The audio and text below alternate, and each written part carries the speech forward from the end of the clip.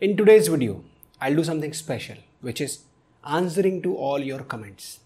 It does not matter what type of comment you have done, I will answer each and every one of them. So this video may be divided into first part, second part or third part because there are a lot of comments which I have not answered and I'm going to answer each of them one by one.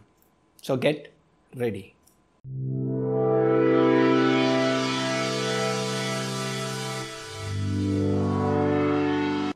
Namaste, Sat Shri Akal. I'm Sukhwinder Singh and welcome to Yoga Chaitanya, a channel where you'll find content for improving your physical, mental, emotional, and spiritual well-being.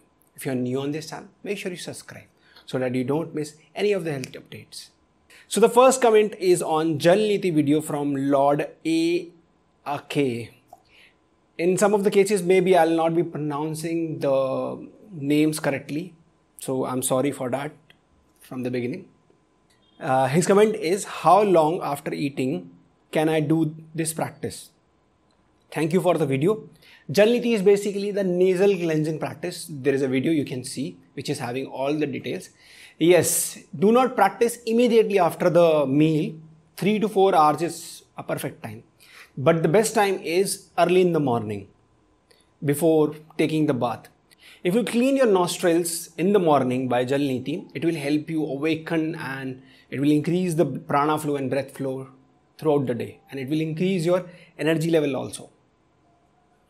Next comment is on Apan Mudra by Rupal Chaudhary 3002. Can this mudra be done while walking, post lunch or dinner? Yes, you can practice this mudra post lunch and post dinner. This will help in moving the uh, apan vayu downwards, but practice it after at least one and a half hours after the meal. It's best if you can practice it while sitting before sleeping or just relaxing in any of the sitting postures and doing the mudra at that time. Sitting will give more effects. Next comment is on Gyan Mudra video by the Capricorn 1116. Can you practice Gyan Mudra on bed? Yes, absolutely. You should practice Gyan Mudra on the bed before sleeping. Apply the Mudra, sit in a comfortable position, close your eyes, manage your breathings. You can practice any of the calming, tranquilizing pranayamas like Bhramari, Anulom Vilom, Nadi Shodhana with Gyan Mudra and then you can move into meditation and then go into the sleep. This will completely change your life. Try it. Next comment is on Surbhi Mudra by Danisha Shah 497. Thanks, thanks, thanks. All your videos are truly authentic. Please guide that can we do Surya, uh, Surbi Mudra lifetime and when to do empty stomach or how many minutes after the food pranam pranam ji uh, yes you can practice this mudra lifetime but just you have to check why you are practicing this mudra what benefits you want to take from the practice. And uh, regarding the time yes you can practice this mudra after one hour of food. Any mudra should be practiced at least 15 minutes 10 to 15 minutes three times a day. At least 40 to 45 minutes in a day to see the effects. And you will see the effects almost after 30 to 40 days now it all depends on how much imbalance you have in the body what type of lifestyle you have what type of diet you take all these factors will vary the result so there is no stringent rule or there is no stringent policy defined that in this particular days you will be getting the results. Ha, answering to the empty stomach, yes, you can practice this mudra empty stomach. It will give you same benefits. There is no problem in that. You can do it in morning meditation. It will help. Next comment is on Bhastrika by S1N6341. Bhastrika pranam is very good for lung strength. I am a marathon runner. I have sometimes problem with my breathing. So I started doing it. It helped me a lot in my running and normalization of my breath while running a marathon, a half marathon. Thanks for your nice explanations. A lot of love and blessing from New York. Thank you so much. Since you are practicing Bhastrika, I will say that you should try uh, Kapalbhati also along with Nadi Shodhana and other pranayams. All videos are available on our channel with some kumbhak. Kumbhak is retention of breath. You inhale, you hold the breath, you exhale, you hold the breath, then you inhale, hold the breath, exhale, hold the breath, like that. So the application of kumbhak with pranayama will increase your lung capacity and it will improve your awareness level also. You will have more precise control over your breath. You can also practice Viloma Pranayama, which is like step sequence of breathing, which will also enhance your breathing capacity. Thank you so much. Next comment is by Irupi8191. Yes, I believe in hand mudras. Last night I tried Prana Mudra. Believe me, it helped me sleep in seconds. Thank you very much. Thank you so much. I'm really happy for you. Uh, as you might have heard in this video earlier that in the night before sleeping you can practice pranamudra or some other mudras along with some breathing practices, humming meditation or silence meditation. This will increase the depth, the quality of sleep as well as it will make your sleep meditative which is going to transform your life completely. Try this.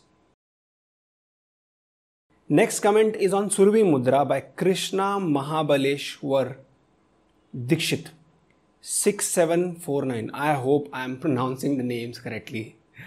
Uh, thank you, sir, for the full information. I have cough problem in my throat. Can this three dosha mudra works for my cough problem? Can you suggest any mudra medicine for my problem, sir? Sir, first of all, I want to tell you that I'm not a doctor. I'm not going to suggest you any kind of a medicine. This is not my cup of tea. For this, you should visit your physician or any cardiovascular specialist.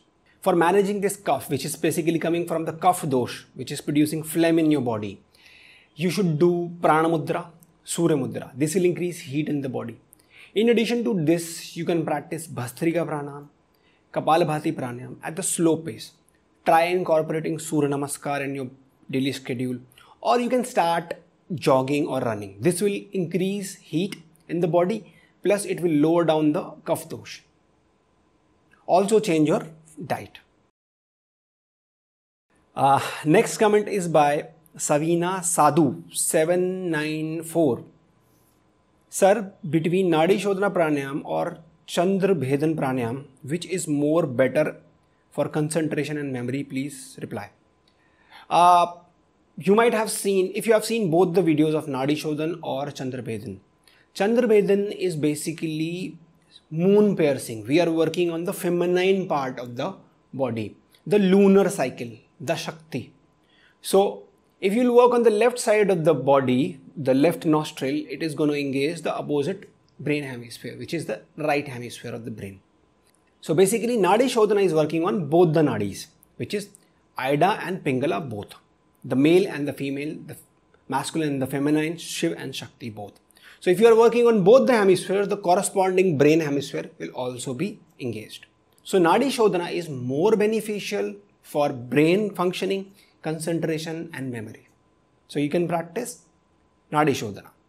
But when you want to engage the right hemisphere of the brain or you want to become passive or you want to increase your moon energy, then the Chandra Bhedan Pranayam comes into role. Okay, I hope I answered your question.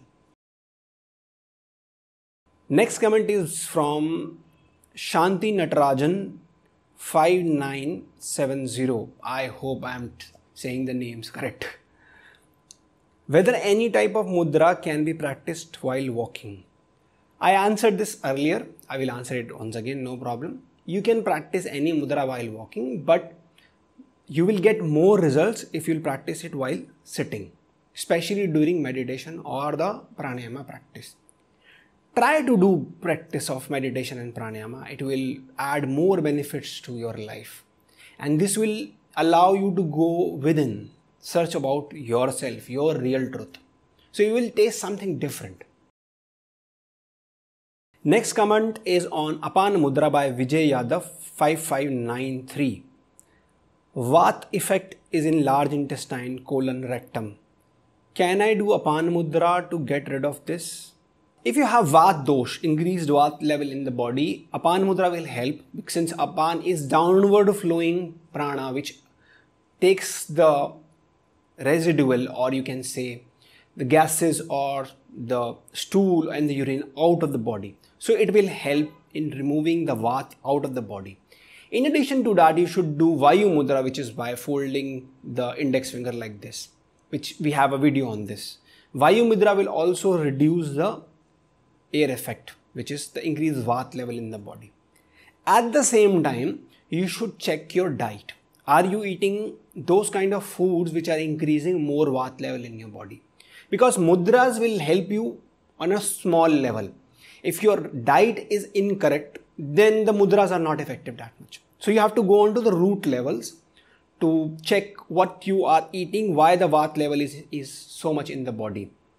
If that is not the case, then you should uh, talk to a Ayurvedic doctor. An Ayurvedic doctor will guide you better to know the constitution of your body, what type of issues you are facing, why this vat is increasing in the body. Okay, ji? Thank you. Next comment is on Surbhi Mudra by Sweetwater 1978. Thank you. It was very useful and informative. How long this mudra to be practiced and any mantra to chant? You can practice any mudra for 10 to 15 minutes twice or thrice a day. And any mudra will take at least 30 to 45 days to show the results. Yes, you can chant any mantra along with it. One thing I want to add that Surbhi Mudra is slightly peculiar since you have to use your fingers in a typical way and it's not that much comfortable. So whenever you are feeling uncomfortable, just release your hands, shake your hands and then practice once again. Don't hold too much when you are not comfortable, especially in case of Surbhi Mudra.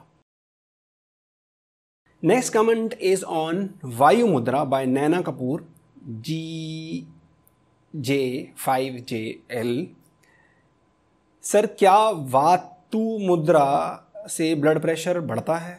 That mean she wants to ask that does this vayu mudra will increase blood pressure no it will not increase blood pressure it reduces the air element in the body मैं हिंदी में भी बोल देता हूँ। वायु मुद्रा से blood pressure नहीं बढ़ता है। वो वायु तत्व, यानी कि बढ़ा हुआ एयर को कम करने में मदद करती है। Next comment is by, oh my god, such a big name. Hanif Lokhandwala Khandwal 1352. I'm sorry if I have taken your name incorrect. Uh, which mudra to practice if you are suffering from polyps in the nose? Ayurveda defines nasal polyps closely related to increased kapha dosh. Now, vitiated kapha dosh promotes the growth of polyps in the walls of the blood vessels as well as the surrounding muscular tissue to rise to swelling. So in this case, to handle this polyps issue, you can try steaming, Jalneti, as well as Surya Mudra, and you can try Nasya, which is applying the nasal medicated oil into the nostrils. For this, you should consult a Ayurvedic doctor who will guide you what kind of medicated oil you should apply into your nostrils.